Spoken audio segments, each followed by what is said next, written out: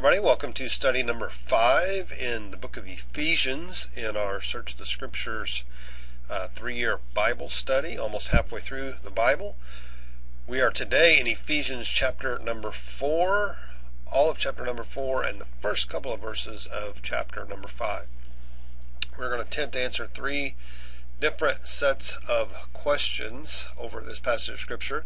We get these questions from a uh, three year devotional edited by Alan Stibbs entitled Search the Scriptures. And these are the three questions uh, that he puts forth to us in that book. The first one is this Express in your own words the difference between the unity described in chapter 4, 3 through 7, as already existing among Christians, and that mentioned in chapter 4, 13 through 16, which Christians are to seek. How is the first to be preserved, and how is the second to be attained.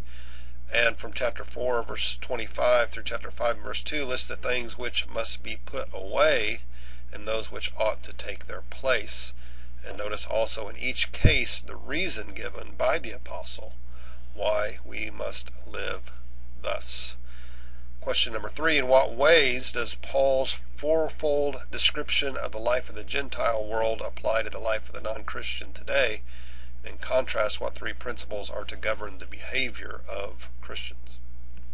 Well, let's look at Ephesians chapter number 4 and the first couple of verses of chapter number 5. If you have a Bible, you might get it out and open it. If not, the words will be on the screen, and let's listen to this passage of Scripture together. Ephesians 4. As a prisoner for the Lord, then, I urge you to live a life worthy of the calling you have received be completely humble and gentle, be patient, bearing with one another in love. Make every effort to keep the unity of the Spirit through the bond of peace. There is one body and one Spirit, just as you were called to one hope when you were called, one Lord, one faith, one baptism, one God and Father of all, who is over all and through all and in all. But to each one of us grace has been given as Christ apportioned it. That is why it says, When he ascended on high, he led captives in his train and gave gifts to men. What does he ascended mean except that he also descended to the lower earthly regions? He who descended is the very one who ascended higher than all the heavens in order to fill the whole universe. It was he who gave some to be apostles, some to be prophets, some to be evangelists, some to be pastors and teachers, to prepare God's people for works of service, so that the body of Christ may be built up until we all reach unity in the faith and in the knowledge of the Son of God and become mature, attaining to the whole measure of the fullness of Christ. Then we will no longer be infants, tossed back and forth by the waves and blown here and there by every wind of teaching and by the cunning and craftiness of men in their deceitful scheming. Instead, speaking the truth in love, we will in all things grow up into him who is the head that is Christ. From him the whole body joined and held together by every supporting ligament grows and builds itself up in love as each part does its work. So I tell you this, and insist on it in the Lord, that you must no longer live as the Gentiles do, in the futility of their thinking, they are darkened in their understanding and separated from the life of God because of the ignorance that is in them due to the hardening of their hearts. Lost all sensitivity, they have given themselves over to sensuality, so as to indulge in every kind of impurity with a continual lust for more. You, however, did not come to know Christ that way. Surely you heard of him and were taught in him in accordance with the truth that is in Jesus. You were taught with regard to your former way of life to put off your old self, which is being corrupted by its deceitful desires, to be made new in the attitude of your minds, and to put on the new self, created to be like God in true righteousness and holiness.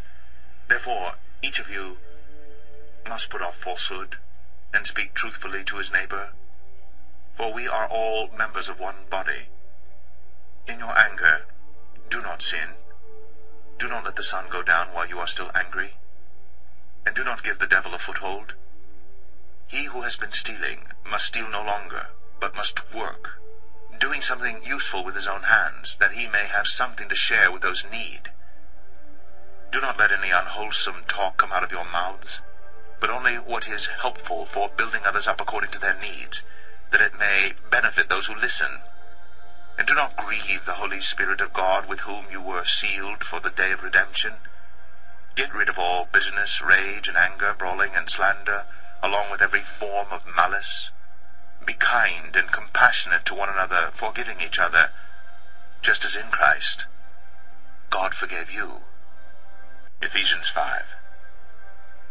Be imitators of God, therefore, as dearly loved children, and live a life of love, just as Christ loved us and gave himself up for us as a fragrant offering and sacrifice to God. First set of questions then from Ephesians 4 1 through 5 2. Express in your own words the difference between the unity described in chapter 4, verses 3 through 7, as already existing among Christians, and that mentioned in chapter 4, 13 through 16, which Christians are to seek. How is the first to be preserved, and how is the second to be attained? Well, the opening part of this passage refers to the unity that exists within God, within the Trinity or the Godhead. In verses 14 through 17, Paul is challenging the unity then that exists within the church. He's describing the role that God plays to bring about that unity and the role that the church must play in the establishment of that unity uh, among the brethren. And we maintain and we cultivate that unity by doing a couple different things. First of all, by spending time with Christ and secondly, by spending time with one another. We have to maintain our connection to Christ and maintain our connection to the community of believers. We realize uh, all that when we finally realize all that Christ has bore for us. Uh, we do that while we at the same time strive to bear with one another. Second set of questions from chapter 4, 25 through chapter 5 and verse 2 list the things which must which must be put away and those which ought to take their place. Notice also in each case the reason given by the apostle why we must live thus.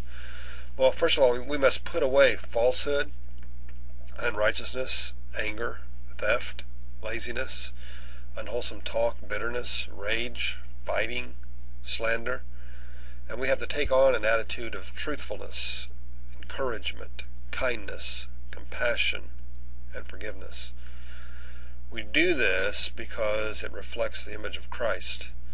Ultimately, as was said in a previous chapter, our actions will be a reflection of the grace of God in our lives, and that reflection is going to be viewed by the rulers and the authorities in the heavenly realms. Our lives are on display for the heavenly realms, so we must live accordingly.